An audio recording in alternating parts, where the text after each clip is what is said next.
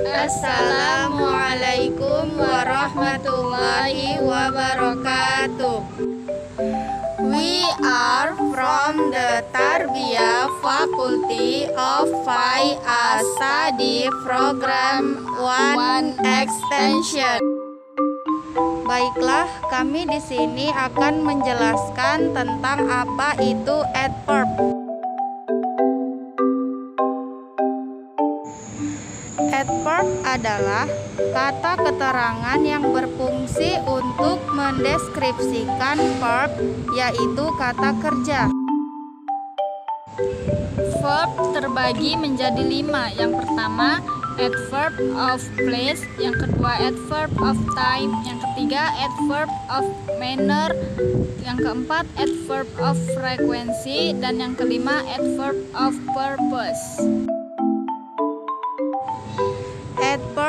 Of place yaitu kata keterangan tempat. Adverb of place adalah kata keterangan yang menunjukkan tempat, umumnya terletak di ujung kalimat.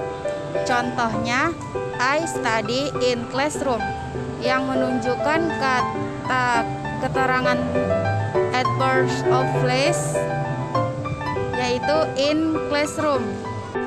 Contoh yang kedua, we ate in our kitchen yang menunjukkan kata keterangan tempat yaitu in our kitchen. Adverb of time yaitu kata keterangan waktu. Adverb of time adalah kata keterangan waktu yang berfungsi untuk menjelaskan kapan dari suatu pertanyaan. Contohnya, I have go to school now yang menunjukkan kata keterangan waktu yaitu no. Contoh yang kedua adalah my brother is leaving for Singapore today yang menunjukkan kata keterangan waktu yaitu today. Yang ketiga, adverb of manner yaitu kata keterangan cara.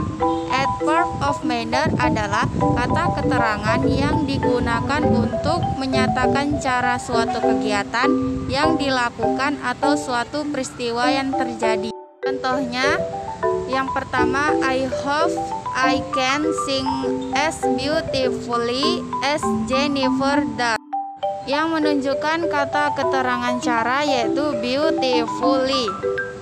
Contoh yang kedua, money accidents happen it because people drive carelessly yang menunjukkan kata keterangan cara yaitu care, carelessly. Yang keempat, adverb of frequency, yaitu kata keterangan tentang tindakan atau aktivitas. Adverb of frequency adalah kata keterangan yang mengungkapkan seberapa sering suatu kegiatan yang dilakukan atau suatu peristiwa yang terjadi. Contohnya, Nita always washes her face before going to bed, yang menunjukkan kata keterangan of frekuensi yaitu before going to bed. Contoh yang kedua, my father sometimes drink tea every morning yang menyatakan adverb of frekuensi yaitu every morning. Yang kelima, adverb of purpose yaitu kata keterangan tujuan.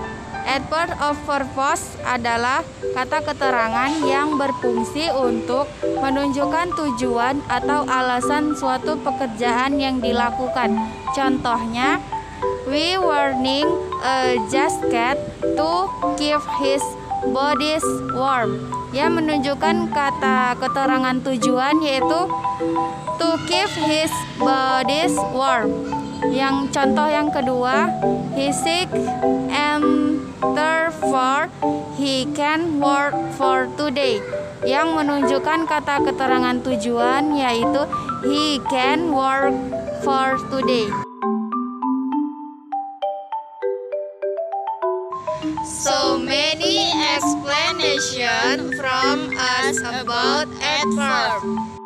See you next time. Bye bye. Wassalamualaikum warahmatullahi wabarakatuh.